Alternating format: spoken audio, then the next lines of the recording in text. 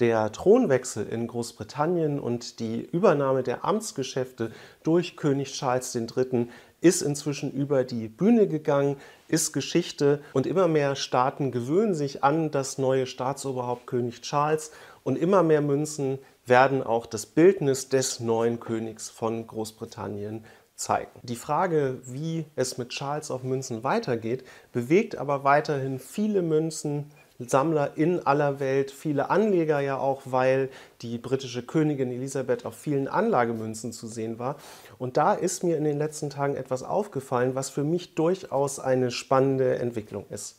Es hat nämlich der Inselstaat Niue äh, neue Münzen vorgestellt, die nicht mehr das Bildnis des britischen Monarchen zeigen, sondern das Landeswappen.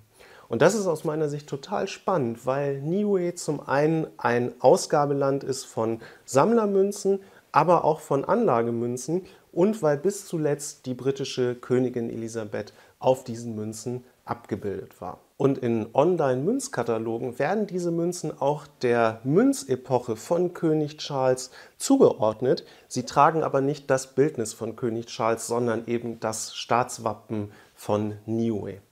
Und das ist aus meiner Sicht total spannend. Man weiß noch nicht hundertprozentig, ob das jetzt eine dauerhafte Entscheidung ist oder eine Übergangslösung.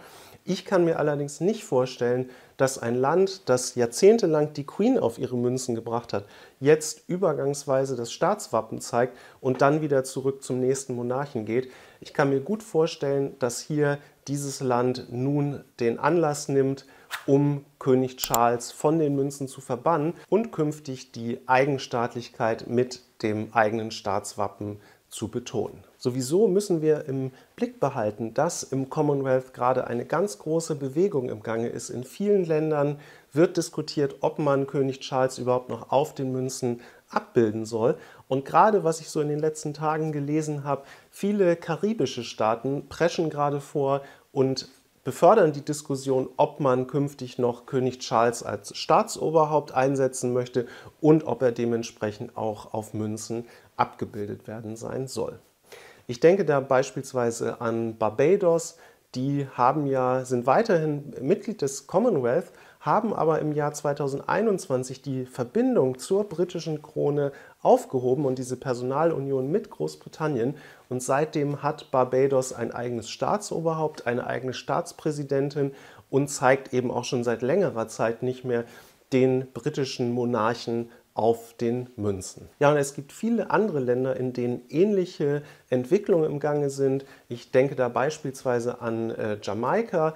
Da kennen wir ja auch die Geschichte, dass es da einen Staatsbesuch gegeben hat von Prinz William und Kate in Jamaika und wo der Premierminister ziemlich provokant bei diesem offiziellen Besuch gesagt hat, wir wollen ein unabhängiges, ein entwickeltes und ein reiches Land werden, was offenbar ein Gegensatz ist zum jetzigen Zustand und sie möchten bis 2025 aus dem Commonwealth austreten. Ja, und auch in einem anderen Land, was jetzt auf der Landkarte erstmal nicht so leicht zu finden ist, aber in der Welt der Münzen durchaus eine äh, Bedeutung hat, nämlich Antigua und Barbuda.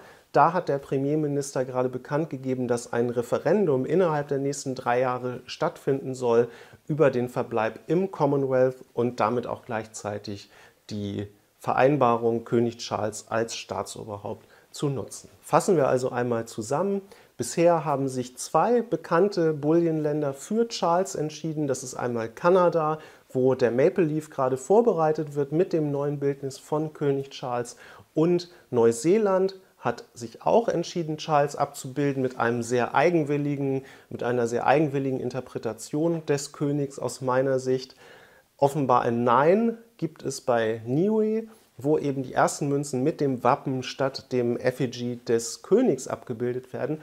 Und umso spannender ist für mich, wie sich andere Länder entscheiden werden, nämlich Australien und auch Tuvalu als Land, was sehr stark mit Australien in Verbindung steht und was sehr viele Anlagemünzen und Sammlermünzen rausbringt. Wir werden euch an dieser Stelle auf jeden Fall auf dem Laufenden erhalten, wenn sich etwas Neues ergibt zum Thema Charles auf Münzen.